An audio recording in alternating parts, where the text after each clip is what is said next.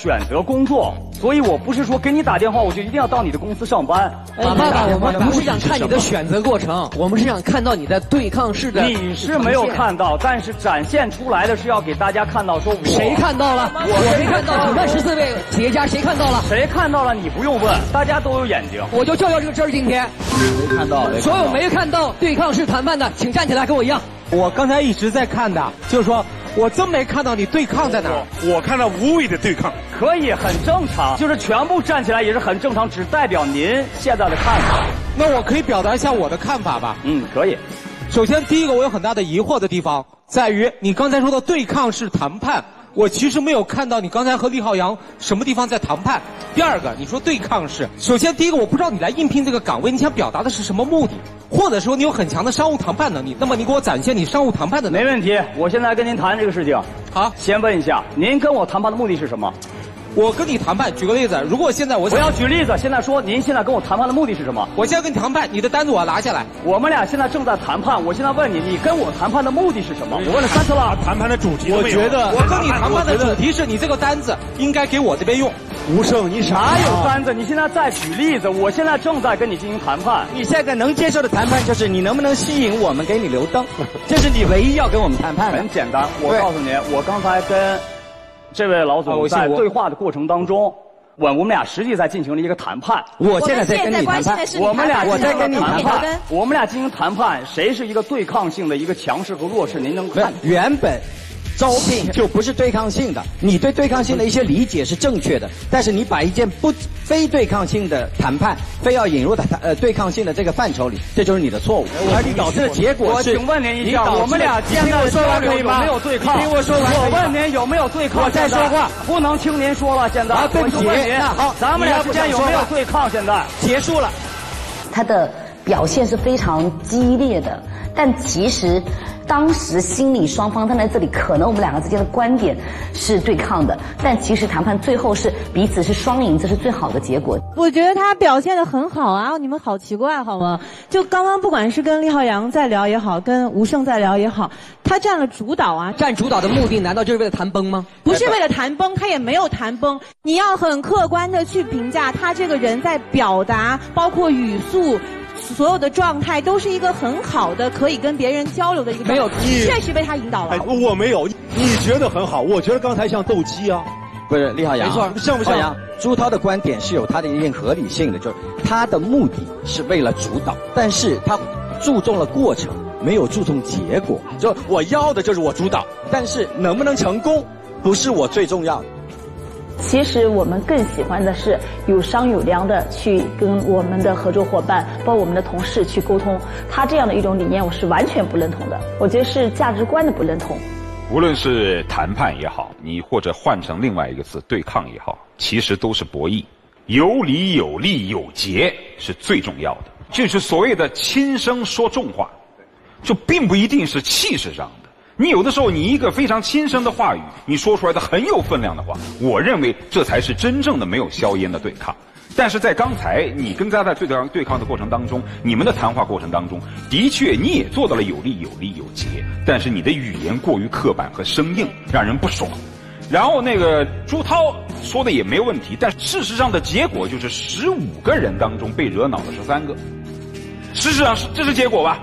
但是另外呢？也让我们反馈到一个问题，就现在不断的有这样的求职选手来，就有些人说，你们非你莫属最近怎么了？嗯，这选手一上来就一顿被挨削，就天天这企业家表现自己特优势，好像就你挑我们，我们不挑你们，我们少了对于选手的鼓励和平等对话的机会，这是我们要反省的。就顺毛驴上来，我们个个都很舒服，哎呀，批人批的很高兴，一上来一个刺头一样的。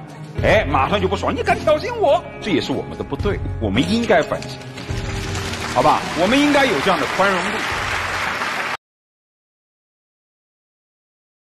所以有那么你啊，知道自己缺知识，但是又不看书，有种种的原因等等。那你今天到这儿来，你觉得你能找到工作？因为我有一个有些自己的想法嘛，先展示出来的话。什么想法？赶紧展示来。啊，做那个，呃，我想做一个。自己的产品，就是我要我想做这个产品。你是来找投资的？呃，这个也不是，这和呃如果说有人觉得这个产品理念好的话，我们可以呃，我可以入职说和一起一起做。什么产品？来，什么产品？其实我在做销售有 PPT 吗？呃，或者没有没有资料吗？没有没有，就靠口说是吧？只只能说对。你知道自己的表达能力不好？呃，表达能力一般，对。那你还要表述？你为什么不做份资料来？呃，资料这个东西，因为之前写的可繁琐。你看他又有理由，来，你说，来，你把产品说一遍。其实我想做一款这个，呃，情感类的产品。啊，说吧。对，因为这个我之前在销售的时候，呃，感觉到就是咱们这个很多的产品，它这个呃同质类啊，同同就是这个同质化，或者是这个同不同质化对，同质化这个特别严重。就它那个，你先说，你在是个什么产品？是一个实物类的东西，还是一个 A P P？是不是？它是情感类的实物，应该是它应该和互联网结合会比较好。是个 A P P 是吧？不是不是。它的呈现形式是什么？是课程还是什么东西？它应该是食食物加互联网，呃，应应该应该得做一个 A P P，因为做一个 A P P 的话会很很好销。应该做个 A P P。对。你想好没有？啊，这个产品的功能是什么？涂老师，最后这产品是你做出来的，你说产品别说思路，就你要是漫天漫天花语的表达，我们听不懂，你就说什么东西长什么样，能干啥。这这个这个产品，它的产品涵盖的话应该是非常多，它它不是，它是现在它这个产品肯定是基于就是现在的产品开发出来，它应当是奢侈品。我认为情感应该是一个奢侈品。就是我们听不明白。小叶，他形容的这个东西，他是把这个理念赋予所有的产品上面。我的感受还是那句话：既然知道自己缺知识，就去读；不知道买什么书是好书，就去问什么书是好书。但是呢，你总有理由不去接受知识，以至于现在你描述一个产品，你描述不清楚。小伙子，把日子过着行就行，咱不想那个什么产品啊，马云呢，咱甭想。嗯，我从女性角度补一句，就是如果你心里还有这个梦想，如果你认为这个梦想是你人生的目标和归宿的话，我个人倒不建议你那么快的去结婚生孩子。你先，你先自个儿 踏踏实实过好了，人家姑娘想的是过一辈子踏实日子，别到时候绑绑带着人家去实现你的梦想。如果说你真的是一个梦想家的话。对于马云，你要了解他的精髓，而不要叶公好龙。三十四岁不年轻了，老大不小，好吧，今天就这样，再见。还没投，还没还没灭灯呢。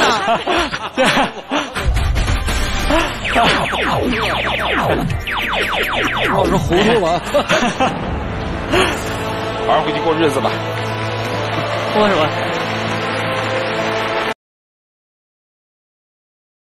大家好，呃，我叫龚俊，我是一名职业旅行家，然后我是想来求职那个宁哥集团的，可能没有我的这个位置，然后我就自己创造了一个一个一个岗位，叫那个环球旅行事业部的合伙人。希望今天有机会能得到各位 boss 的认可，谢谢大家，谢谢谢谢关迎。你你说清楚，你是来求职的还是来找合伙人？啊不不是不是找合伙人，就是求职求职求职啊求职。你看你刚才又说是合伙人，求职求职。怎么感觉你像个艺术家？呃，其实爱旅行的人都有一点。哎，你你去过哪些地方？我领队过七大洲。你是作为旅行爱好者呢？我是我是我是作为一个设计者，我是设计一个呃所有的一个行程出来以后，是我来设计这个行程。你就是职业旅行家啊，职职业对吧？对。你你就奔着旅游来的是吧？只考虑旅游行业，我只考虑盈科，不是只考虑旅游行业。那不那还有一个六人游吗？六人游我没考虑。我个人认为，就是一个企业如果长期招聘，可能它的人员不是很稳定。还有一种可能，我就觉得可能是作为它一个品牌的一个形象，在这里展示。我们的企业正在快速发展，今年我要招一百个旅游顾问，而他只是从一个表面上说你这个企业老做这个电视节目，就判定你这个企业可能不行。这首先第一个，这个逻辑逻辑关系是错误的，结论也是错误的。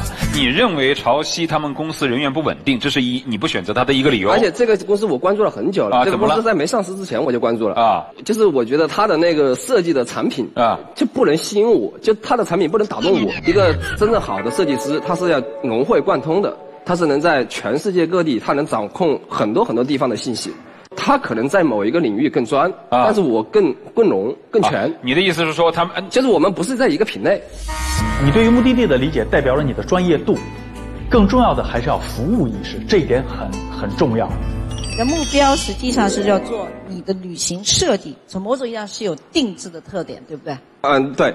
你可不可以给我们分享一下？假设我今天或者你熟悉南美吗？我熟悉啊。我希望你给我定制一个家人十天的旅行，我希望看到你这样没问题做事的逻辑。因因为我对您的背景也做过了解，所以我我会设计一套您满意的方案。现在能不能就是别吊我们的胃口？就是贾总刚在六人游走完我们的南美行程。如果说你设计的这个线路没有像你说的，我能精通全世界所有的线路，对，我们的旅游顾问只能说我精通一个国家或者一个城市，我就认为这个旅游顾问非常了不起了。我还没有听说过一个人可以设计全球线路的旅游顾问。所以你把你自己架这么高，小心咱们 PK 一下，好吧？您这样，他先做准备，好，我就做任何准备。不用不用准备，就是如果这个事情准备了，就显得有人这个场上有点作秀了。我就是因为不需要准备，我就问您几个问题，您回答我。好。第一个问题是，您打算几个人去？啊，两个家庭。两个家庭大概几个人？六位。六位。然后您这次行程，您打算就是呃，出发的时间大概是什么时候呢？一周以后。一周以后。然后您这次出行大概有多长的假期呢？可以最最最长两周。两周是吧？嗯。两周的时间有点短，我觉得您可能最多只能玩两个国家。好了，不用给我介绍，到时候不用跟你谈。对你这一块就已经输了，你没有资格向你的客户说你的时间长短，我就按你时间来定制。对，参加六轮游的体验，他已经有了这个体验，然后他再去想融入你的这这种设计和体验，对于一个客人而言是很难的。他不职业，你知道吗？他完全不知道我这一层旅行的我的诉求是什么。所以你的根本点你 get 到不到，因为我知道六人游有这条线路啊，好好，我是拿着你这个刚才这个回答我觉得是很简单的啊，就是他问客户的需求，就问了多少人，多长时间，后面的根本就没有问，马上给他设计方案。我我是个旅游外行啊，但是我跟旅游推荐过旅游人才，旅游三旅游是三个层次，最基本的是景点旅游，再上是文化旅游，再上面是生活方式的旅游。你对他的文化背景我一切都没了解，你怎么设计？